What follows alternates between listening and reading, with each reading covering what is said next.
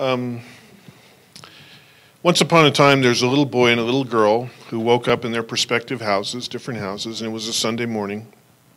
And they both decided that they were going to go to church. Little boy was a Baptist, little girl was a Catholic. And they put on their very best their very best underwear, their very best socks. The little girl put on just a beautiful dress, little patent leather black shoes, ribbons in her hair. Her mom did her up, and the little boy put on a suit and a clip on tie and a beautiful white shirt and wingtip shoes. And they both started off to church. And somewhere along the line, they didn't know each other. Somewhere along the line, their streets converged, and so they saw each other and and they greeted each other. And um, the little girl said, "You know, I'm going to church." And the little boy said, "I'm going to church too." And he said, uh, "What's your church?" And she said, "I'm a Catholic." And she said, "What's yours?" He said, "I'm a Baptist." And so they proceeded to walk along. And they were talking. They were making small talk about the morning and everything, and getting to know each other. And they went on down the road and they realized that there had been a flood and the road was flooded and there was a stream of water washing across the road. So they stopped and they looked at that. And she said, Well, you know, oh, my, my church is over, you know, I go down the road and then I, I, I go to the left and it's out that way. And he says, Yeah, my church, I go down the road and it's off to the right and I go that way. They looked at each other, they didn't know what to do because what they shared with each other was, you know, if I go into that water and I get my clothes ruined, my my mom is going to be so upset with me. You know, this is my best dress, this is my best suit, this is my best everything, my best underwear, my best socks, my best shoes. So they looked at each other for a while, and they decided, kind of at the same time, to completely strip everything off. Just take all their clothes off all their clothes and all their underwear and everything, and they and they took their off their perspective outfits and they folded them up very carefully and they held them above their heads, and they began to wade across the water. So they went out there, and sure enough, the water was you know came up about chest high, but it wasn't flowing too too uh, too strong, and so they got through. And so they're standing on the other side, and there was nothing really to dry off with. So they're just kind of trying to shake the water off. They're looking at each other, and they got their clothes over there, and and so anyway, so they finally kind of got dried off, and they they both got dressed again, and they started down the road. And the fork in the road was very close, and so they were about ready to part company. So when they turned to each other to say goodbye, the little boy said to the little girl, he says, "You know." He says, until this morning, I didn't realize the big differences between Catholics and Baptists. So,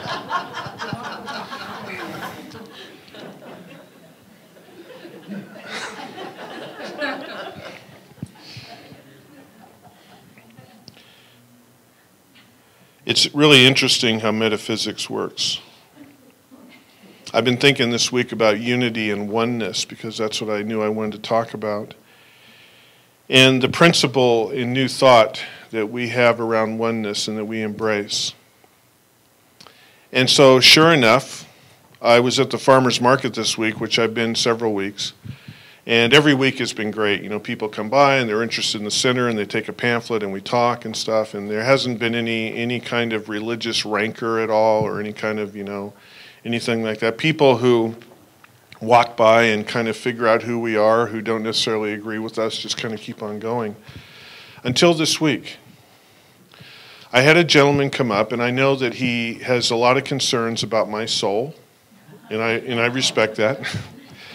And I know that he has a he has a very different way of looking at religion and the world and God, and he engaged me in a conversation. And it was a conversation that was challenging for me because he represented a place that I had come from once in my life. And so there is that, um, there is that emotional hold. You know, we, when we say as human beings that someone pushed our button, that's because that button is wired to something that we have an emotional attachment to.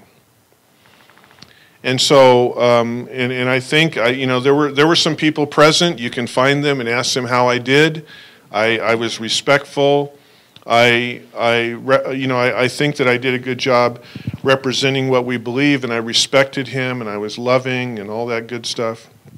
But I found it challenging.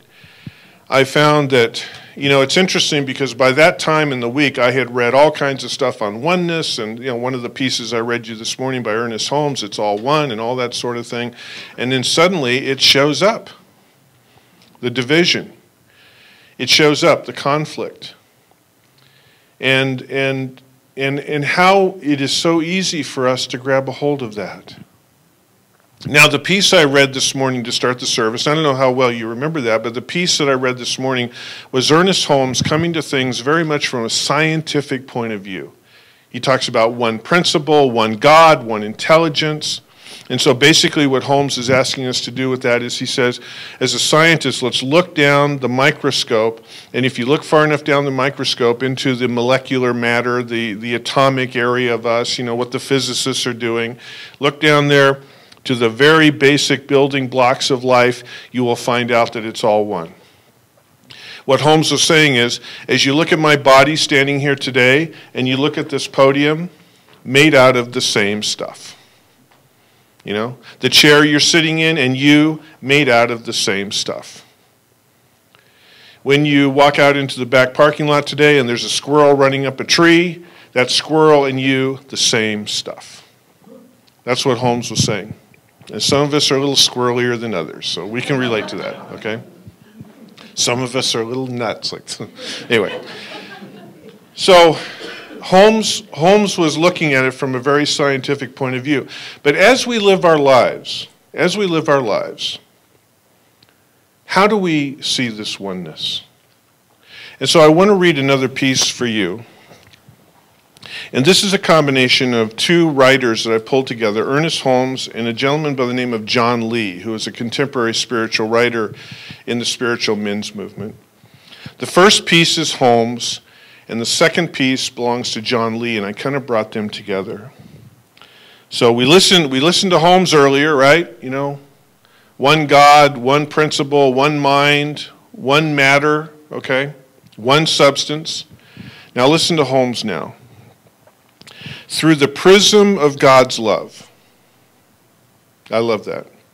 Through the prism of God's love, I recognize the oneness of infinite spirit in all universal expression, providing me with perfect insight right now.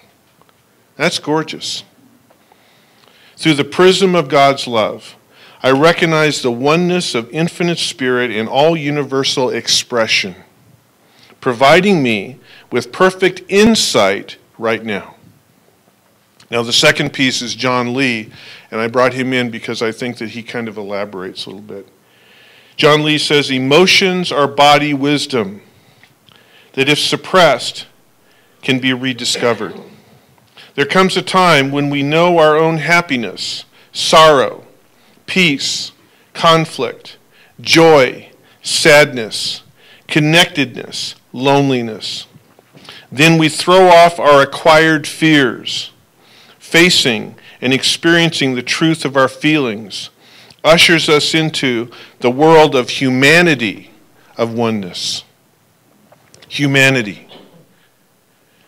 And when I was when I when I read this piece and I and I had this experience this week, with this person at the farmers market and I thought, you know, what is it? What is it that keeps us separate? What are those what are those things that we get hung up in?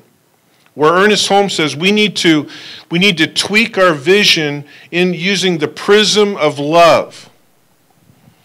And what made me think of it was, and I mentioned Mark Twain last week.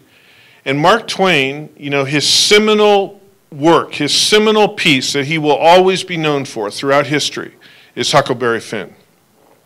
And the and the the if you were to go online today and you were to read the one paragraph that an academic has said about Tom, about Huckleberry Finn, it would say it's a story of the of the development of a relationship between a young white boy and a, and a, and a black slave in the South on a raft trip down a river.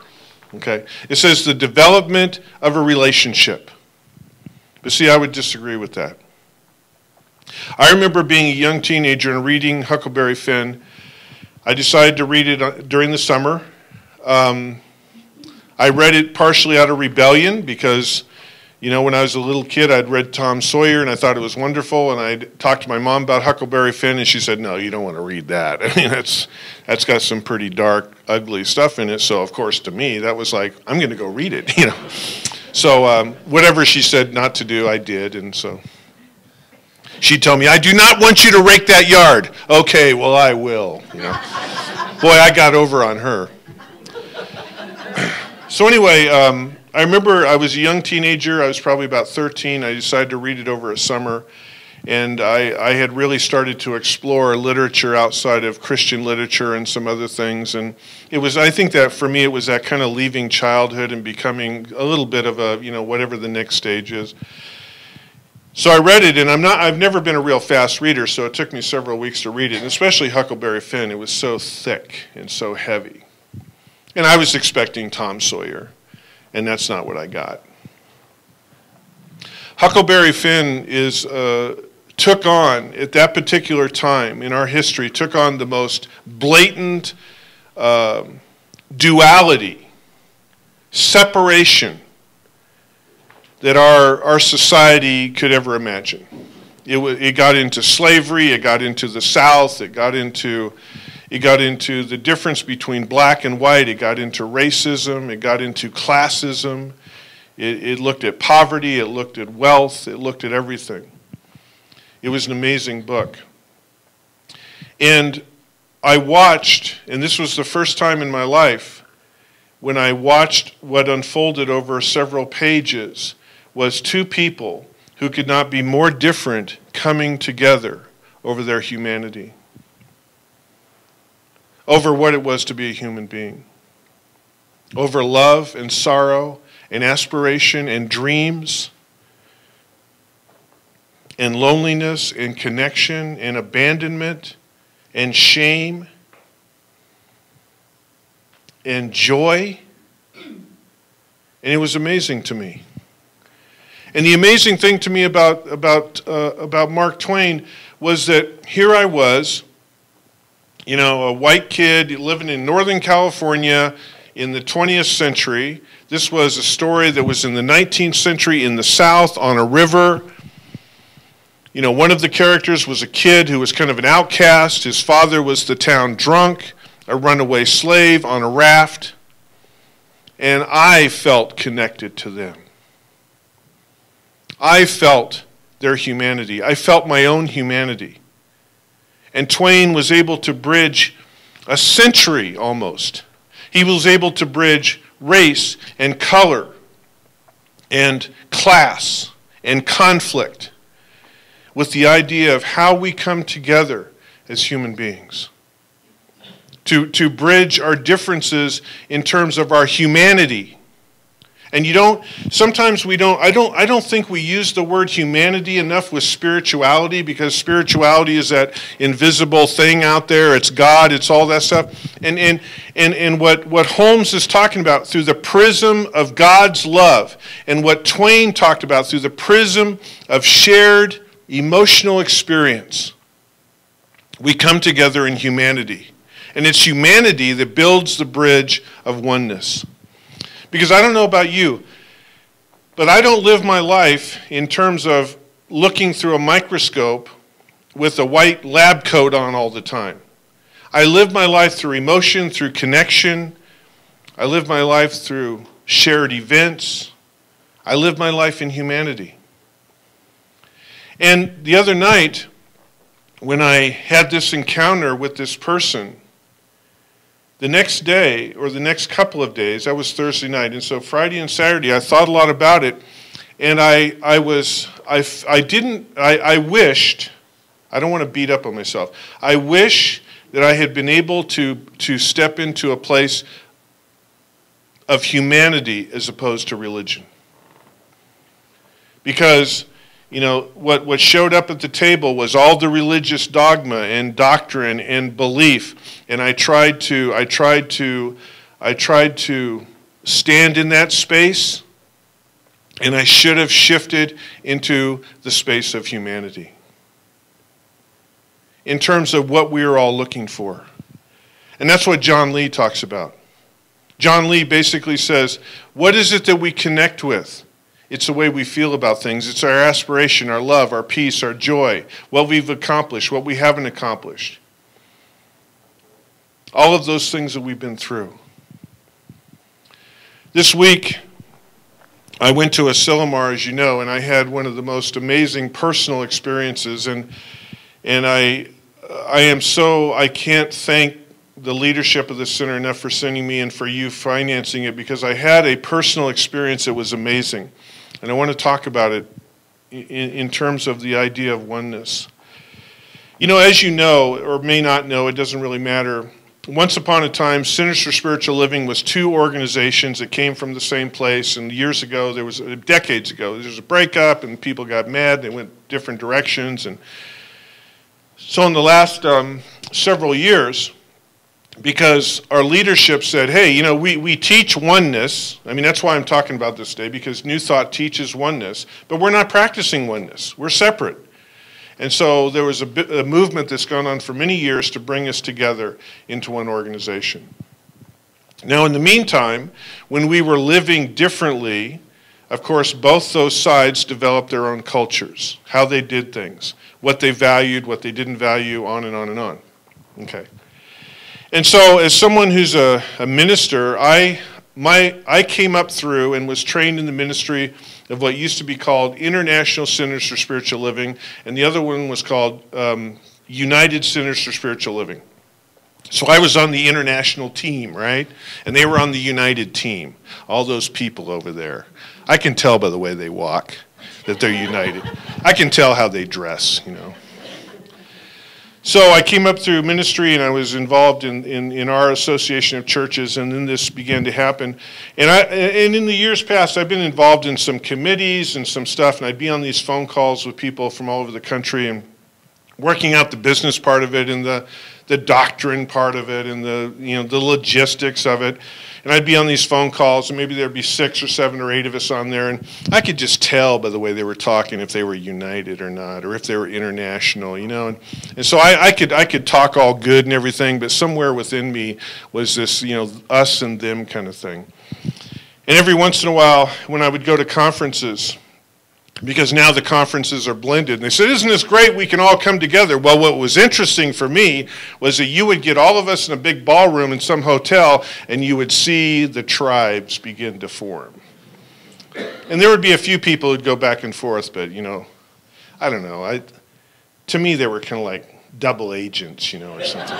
So, so and, and then they would mix up the speakers, the United speakers, the international speakers, and they'd leave. And you'd listen to several speakers in the night and you'd walk out at the end of the night and I'd think, oh man, those, you know, and I would think about all the great international speakers. And well, the United speakers were okay and I'll give them a break, you know, and they, they did make a good point and things like that. And so there's this, there's this part of us that kind of gets hung up in the difference somehow. And so I, I think that us coming together is wonderful and all that sort of thing, but I had to admit there was a place in me that lived in this place of, you know, well, they're trying to change us, and are they listening to us, and them, and they, and them, and they, and them, and they, and us, and them, and I would hear it in my verbiage. And so for me, if I'm really honest with myself and with you, you know, there was a part of me that kind of held out a little bit emotionally. Okay? But I'm supposed to be a teacher of oneness. And so in my class, oh yes, oneness. We have to we have to get along with the Mormons and the Baptists and the Catholics. Isn't this just wonderful? But I can't even get along with United. You know what I'm saying? so if I'm being really honest, because there was difference, there was something different. And so um, so I go down to Asilomar and we get the message on Tuesday. There, I don't know how many of you have been to the Asilomar grounds, but in the middle, kind of in the middle of the area where there is a, a large uh, place to eat, and there's a large administration building, and there's a large sort of a gathering building to the left, and then of course there's all these other buildings that kind of go up from the ocean. In the middle is this thing called the meadow, and it, you know, calling it a meadow is optimistic. It's not that big, but it's really beautiful. It's an open space, got some trees, some of that tall coastal grass. It's really neat, and on the real kind of damp days of the coast, it's very, the grass is moist and it's really this wonderful place. There's some picnic tables there. Well, United, uh, when they produce ministers every year, they would come to Asilomar. And and we, you know, both sides, we always did our once a year conference at Asilomar, but we did it different weeks, you know. And sometimes we put a week in between because we just wanted their stuff out of there. We didn't, we didn't want to ever, we didn't want to accidentally run across any United stuff, you know, any of their energy, you know. So anyway, uh, it's interesting we both met at the conference, and both uh, associations when you became a minister, the final thing, the final panel that you went through to become a minister after all your education was at Asilomar. And both groups did that. But United did something that International never did. And what they did was they, they, they used the meadow that was there. They would set up an arch, you know, one of those small arches you see at weddings now and stuff outside. And they would cover this arch with ribbons, and there would be affirmations. There would be words like love and peace and joy and they would have pictures of people like Ernest Holmes, the Emma Curtis Hopkins, and they'd have ribbons coming off it. So they did this whole thing where as the ministers went through their panels and were approved, then they, it, it was called Walk the Meadow. And they walked the meadow, and as they walked the meadow, the people who were involved in this would blow horns and they'd have streamers and they'd have noisemakers and they would and they would cheer and yell and the person would come through the arch and they would be greeted. And then, after all the loudness and raucousness, then they would settle into a place where a group of people would surround them in a circle and pray for their ministry. Knowing, knowing that their ministry was whole, complete, and divine. Knowing that the infinite potentiality was there. And you know, so, so in other words, when a minister goes through this, and now they're a minister and they're going to be going into the world, and who knows, who knows on the material level what lies before them. But what is, is known that day is that you are loved, and the truth of you is that you are going to have a great ministry. And your ministry is truly blessed. And this movement is blessed because you're a minister. Well, a couple years ago, I sat on the edge of the meadow and I watched this. And I thought, oh my God, this would be so cool. You know, I, I didn't go through it because I was international and we didn't do that, you know. And so um, I watched these people come through and I, I found myself very emotional. And I thought this was just wonderful. Okay. So this year, I, I'm at Asilomar on Monday and Monday, there's this big announcement that goes out and says, tomorrow, which is Tuesday, at 1.15, every single minister in this place meet at the meadow. Okay. They didn't tell us why. There's a minister by the name of Barbara Waterhouse who's just a wonderful minister. She, she was united, but she's good. Okay. she's a really wonderful lady.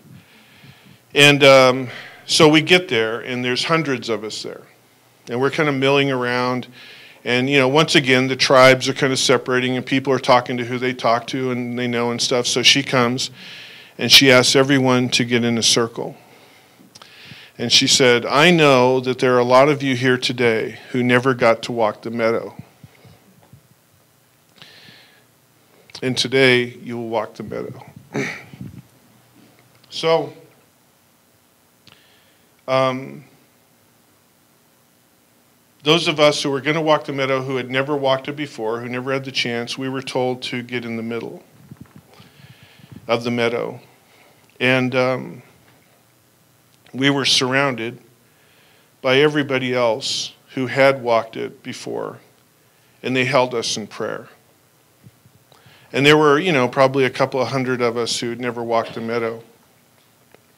So then she said, Okay, now go up to the other end of the meadow and you will walk down one at a time. And you know, I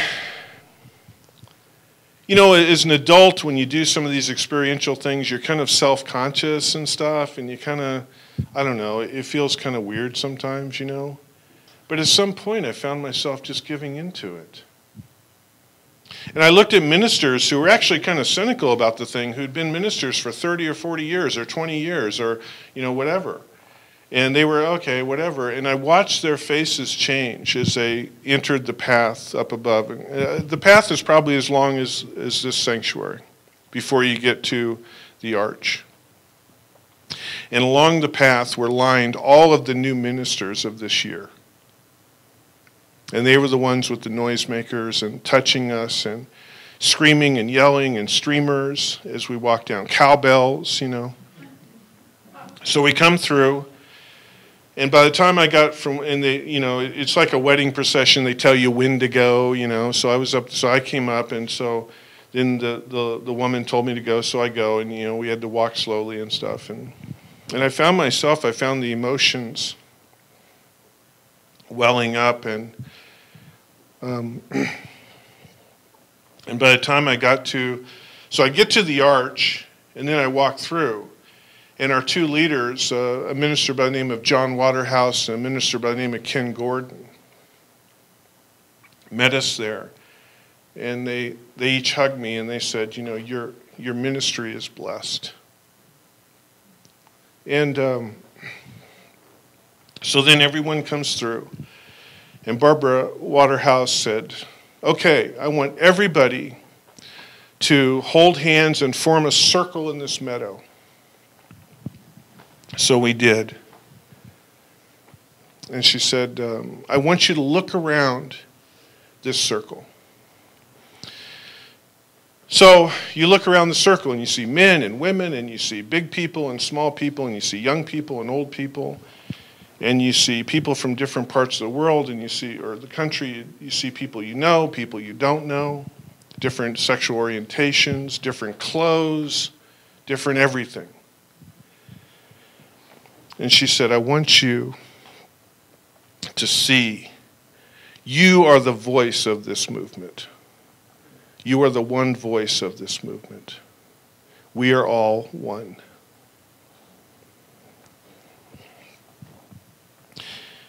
And so for me, um, for the first time in all of this stuff that's gone on in the last several years, I finally got it.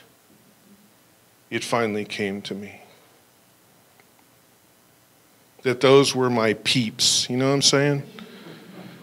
That despite, despite any differences, we are one. And you want to know why? Because in that circle has been joy and tears and frustration and celebration and good times and bad times and light and shadow and whatever else that comes with any walk of life. I don't care if you're a minister, a candlestick maker, it doesn't matter. We all, we all experience it all the laughter, the tears, the connection, the isolation, the loneliness, or whatever. We run the gamut. And, and in that circle was that. And to know that we were all blessed. We were all blessed. Because in that moment, I was able to do what Ernest Holmes says. Said he said, Look through the prism of God's love.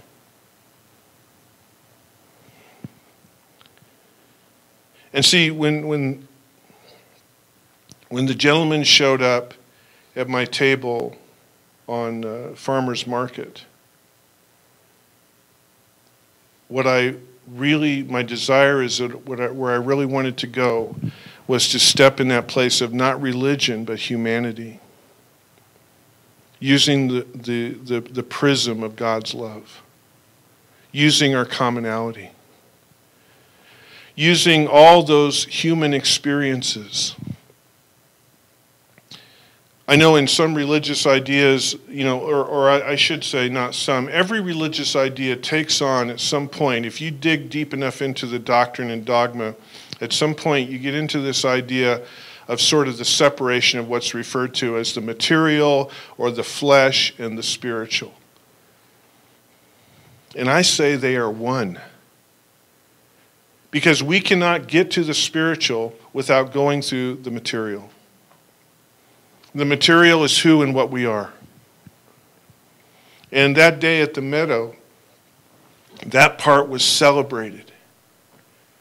You know, cowbells and streamers and noisemakers. I mean, that's us, man. That is us. And holding hands and feeling each other and uh, sharing tears and sharing laughter and sharing light and sharing dark. That is us. To deny that is to deny our spirituality. Because when, when we say in this philosophy, it's all God, it's all God, it's all God, it's all God, it's all God, it's all God, it's all God. It's all God. It's all God. Every bit of it. And that's how we access it. And it wasn't until I went through this experiential exercise that, in terms of the world I live in, of what's called Centers for Spiritual Living now, is that it's like I finally get it. I finally get it. It was like, and I shared this, I shared this probably within the last year sometime, where I saw on PBS where a bunch of American Vietnam vets and a bunch of Vietnamese Vietnam vets, you know, came together. You know, once upon a time they were enemies, and now they came together over, I, I don't know what it was. And they came together in a memorial that was actually in Vietnam. And they were just a bunch of ex GIs, man. And they knew, they knew what it was like. They knew what the other side was like. And to watch them come together in their humanity. You know, they wrote letters home, they missed people, they carried a picture of their girlfriend in their pocket, they ate lousy food. You know, they got shot at, they got wounded, they lost people they loved. That's the humanity. And that's why, after all these years, they were able to get together as one and to walk into a place and celebrate a memorial for all of them without the team jerseys on. And what, what I celebrated that day at Asilomar without the team jerseys.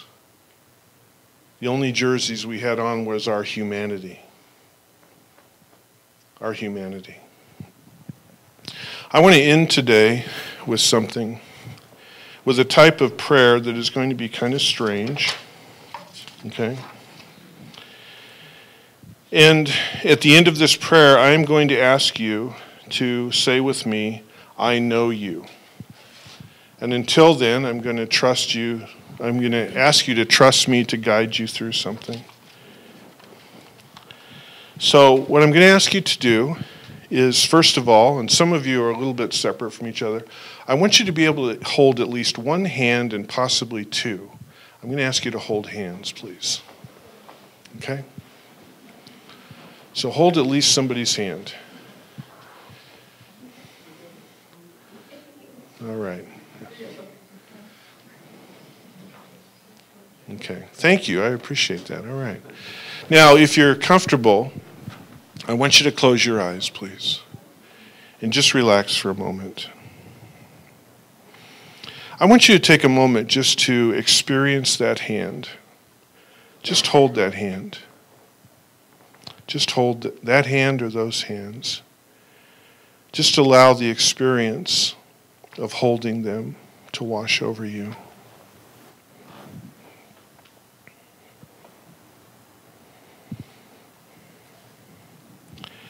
That hand you're holding has traveled many journeys. Connected to a child of God who has experienced happiness, experienced sorrow, experienced peace, experienced conflict, experienced joy, experienced sadness, experience connectedness, experience loneliness. That child of God that that hand is connected to has aspired to grow and evolve, has felt commitment and contentment, has wondered and wandered, has found answers and places to call home. That child of God has loved, has lost, has searched and found.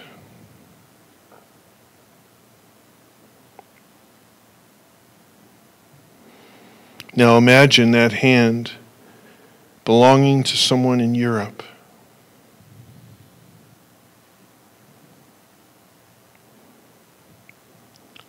to someone in sub Saharan Africa, Can you see them? To someone in Asia.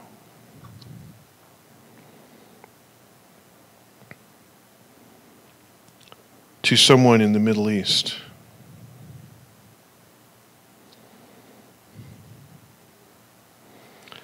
To someone in a jail cell.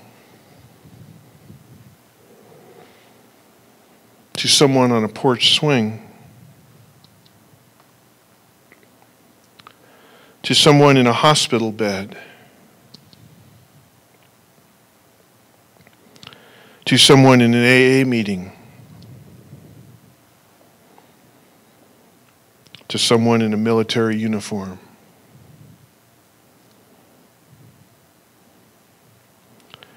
To someone who lives next door.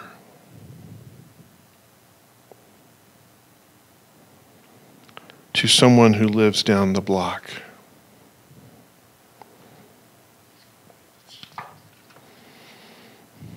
a public figure who stands before thousands of people, a lone figure living in a vacant lot.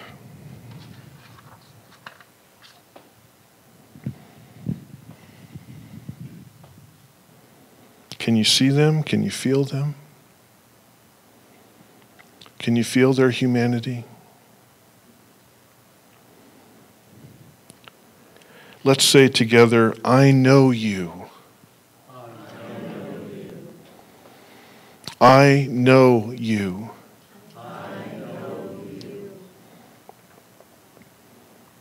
I truly know you.